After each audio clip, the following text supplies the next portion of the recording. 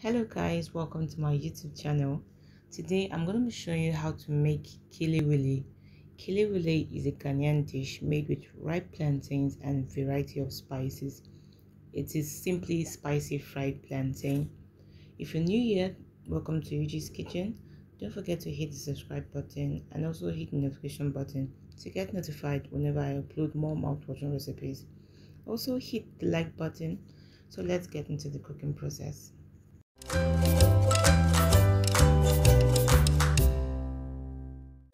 These are the ingredients you'll be needing for this recipe.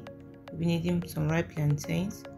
You'll also be needing some ginger powder, black pepper, blended uda seeds, also known as negro pepper, garlic powder, Cameroon pepper, onion paste, stock cubes, and salt. Please feel free to add any spice of your choice. So I'm gonna start by peeling my plantains. For this recipe, it is best to use overripe plantain.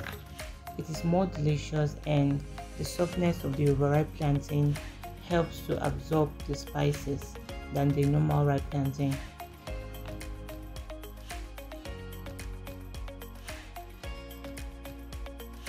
Peeled and washed my plantains, I'm just going to cut it into tiny bits.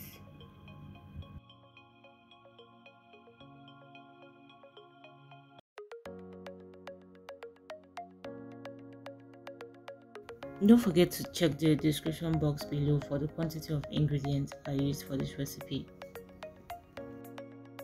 So I was supposed to inform you guys at the beginning of the video that I'm actually starting a plantain series. So this Kelewele recipe is my first plantain recipe I'll be showing you guys. Other weeks I'll show you guys other mouth-watering plantain recipes. So stay tuned and don't forget to subscribe so you don't miss the updates. So I'm just going to add in my stock cube. I'm using just one stock cube for this recipe and I'll add the rest of the ingredients.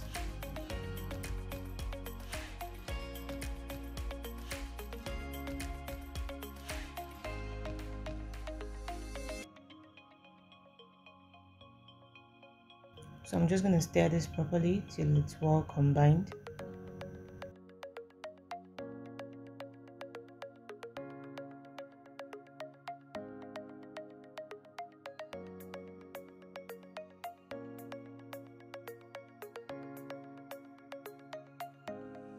Now I'm just going to fry my plantains.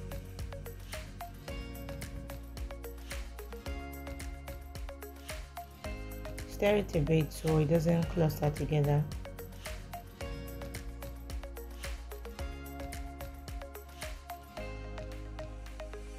So we're just going to fry this till it's golden brown.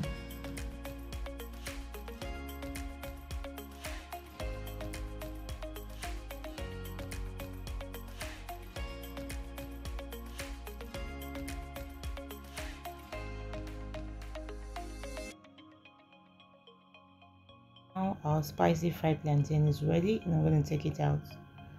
You guys this recipe is so yummy and delicious. You need to try it out. And let me know what you think about this recipe in the comment section below. So that's how to make kelewele it's very simple and easy and you can get the ingredients anywhere. Thanks for watching